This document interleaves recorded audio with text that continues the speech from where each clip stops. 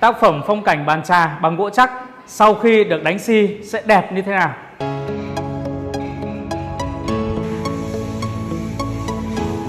Và tác phẩm sau khi đã được đánh dây giáp tận mịn thì ờ, sẽ tới khâu hoàn thiện xi si.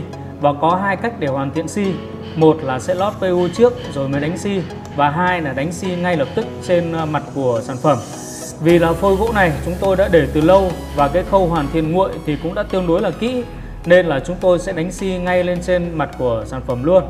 Và chúng tôi sẽ lấy một cái lượng xi vừa đủ lên trên chổi để sau đó là sẽ quét cái chổi này lên trên mặt tranh khi mà quét thì cần phải lưu ý đó là có một cái lượng nó vừa đủ thôi để quét thật là đều tay và đưa xi được tới tận uh, các cái ngóc ngách ở bên trong.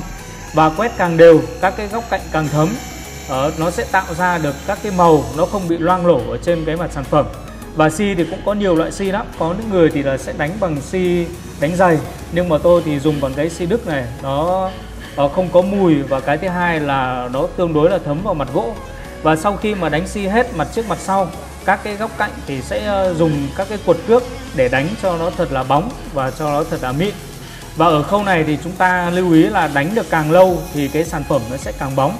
Ở một số những cái ngóc ngách thì chúng ta có thể dùng khăn sạch Đấy, để lau kỹ bằng tay thì cũng sẽ rất là hữu ích ở các cái ngóc cách đấy nhá. Và bây giờ các bạn đang ờ, nhìn thấy uh, sản phẩm đã được khoác lên một chiếc áo mới. Uh, một cái cảm nhận về ờ, tác phẩm vừa là phong cảnh vừa là chiếc bàn trà mới tinh của chúng tôi như này. Các bạn cảm nhận như thế nào? Hãy cho chúng tôi biết nhé